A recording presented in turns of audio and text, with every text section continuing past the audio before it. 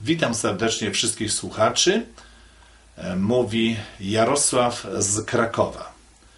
Lekcje biblijne, część na środa, temat Księga Romantycznej Miłości. Biblioteki są pełne książek dotyczących trudnej kwestii, kwestii ludzkiego cierpienia, zwłaszcza dla tych, którzy wierzą w miłującego i wszechmogącego Zbawiciela. Dla ateisty cierpienie jest jedynie częścią życia we wszechświecie bez Boga i bez sensu istnienia, a zatem nie stanowi trudnej filozoficznej kwestii, jak to jest w przypadku chrześcijan. Jednak bez należytego zrozumienia wielkiego boju między Chrystusem a szatanem, większość tych książek nie wnosi zbyt wiele. Poza tym, nawet gdy zrozumiemy dramat walki dobra ze złem, kwestia cierpienia i tak wciąż jest trudna do pojęcia. Choć kwestia cierpienia ludzkiego dotyka wszystkich aspektów życia, nie wolno nam zapomnieć także o przyjemnościach życia. Dlaczego pokarm smakuje tak dobrze? Dlaczego tyle kubków smakowych jest doskonale przystosowany do odbierania przyjemnych smaków? Dlaczego jest tyle odcieni kolorów?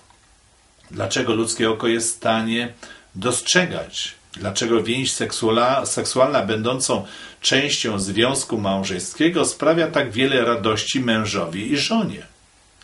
Przecież reprodukcja gatunku nie wymaga tego rodzaju przyjemności związanej z czynnościami seksualnymi. Niektóre formy życia rozmnażają się po prostu przez podział. Nawet ludzie obecnie stosują pewnego rodzaju sztuczne zapłodnienie, które nie są związane z takimi przyjemnymi doznaniami. Dlaczego w naszym organizmie znajduje się zakończenia nerwowe zdolne odczuwać przyjemności, w tym rozkosz seksualną? Odpowiedź na te wszystkie pytania jest taka sama. Jest tak dlatego, że Bóg tak stworzył nas i świat. Bóg stworzył nas, ludzi, jako istoty fizyczne, zdolne doznawać przyjemności. W kontekście seksualności każda księga Biblia nie mówi o tym lepiej niż pieśń nad pieśniami. Dlaczego księga ta znalazła się w Piśmie Świętym? Jest to księga poświęcona romantycznym uczuciom. Nawiązuje także do doznań natury seksualnej, nie mających nic wspólnego z reprodukcją gatunku.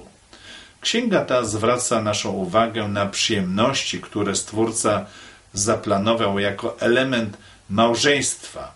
Tak więc możliwości przeżywania romantycznej miłości ma swą genezę w Bożym projekcie stworzenia. Przejrzyj pieśń nad pieśniami.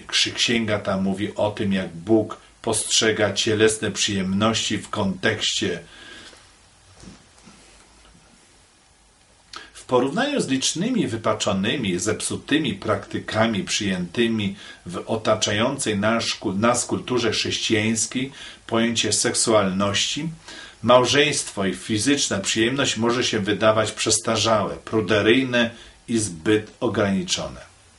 Jednak biblijne zasady dotyczące tej sfery życia pochodzą od Niego, który stworzył nas i obdarzył nas zdolnościami odczuwania tego rodzaju przyjemności – a więc najbardziej wie, jak powinniśmy z niej korzystać.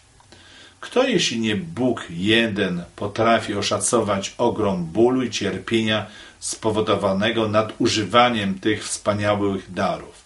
Kto z nas w taki czy inny sposób nie został dotknięty cierpieniem z powodu tego rodzaju nadużyć? Dziękuję bardzo.